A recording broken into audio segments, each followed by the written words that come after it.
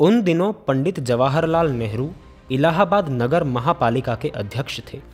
एक दिन वह अपने कार्यालय में बैठे थे कि जल कल के tax superintendent doctor Abul Fazal उनके पास आए और उनकी मेज पर एक कागज़ बढ़ाकर बोले, यह उन लोगों की नाम की सूची है जिन्होंने अभी तक पानी का टैक्स अदा नहीं किया है।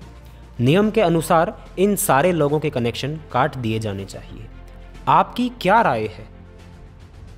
मेरी राय की क्या ज़रूरत आ पड़ी? आपको दिक्कत क्या है?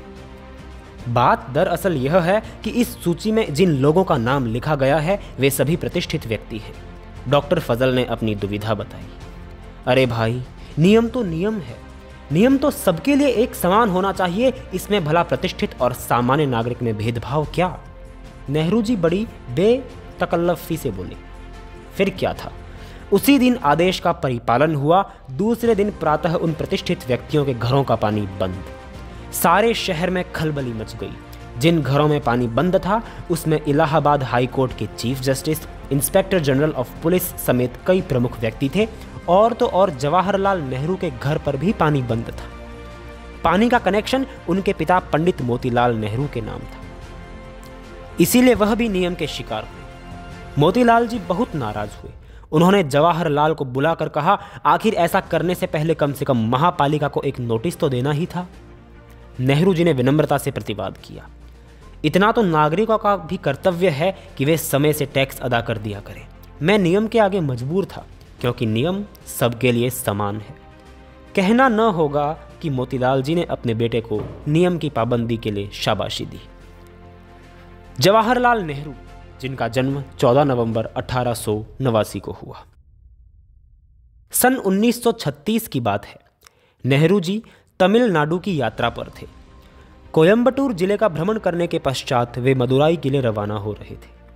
उन्हें विदा करते समय T S Avinash shilling Chettiar ने नेहरू जी के हाथों में खरोंचें देखी।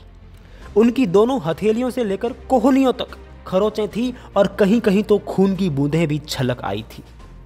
चेट्टियार महाशय घबरा गए। कारण यह था कि नेहरू जी को देखने और उनसे मिलने की आकांक्षा में हज़ारों नर नारी उमड़ पड़े थे। बहुतों ने उनका हाथ दबा दबा कर अपना स्नेह प्रदर्शित किया था। भला वे कैसे स्नेहापहार न स्वीकारते। चेट्टियार ने खेद प्रकट करते हुए कहा, हमारे ज़िले के लोगों ने आपको इतनी तकलीफ़ दी है, इसीलिए मैं उनकी ओर से माफ़ी माँगता हूँ। नेहरू जी बोले अरे भाई, इसमें माफ़ी मांगने जैसी कोई बात नहीं है। मुझे तो अफसोस इस बात का है कि ये खरोचें जल्दी ही भर जाएँगी। ये तो हमारी जनता के स्नेह चिन्ह हैं।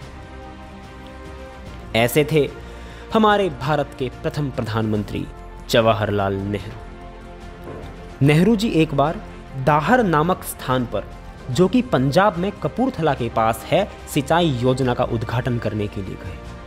श्री गणेश के वक्त उच्चाधिकारियों ने उद्घाटन के लिए नेहरू जी को चांदी की कुदाली खुदाई के लिए दी।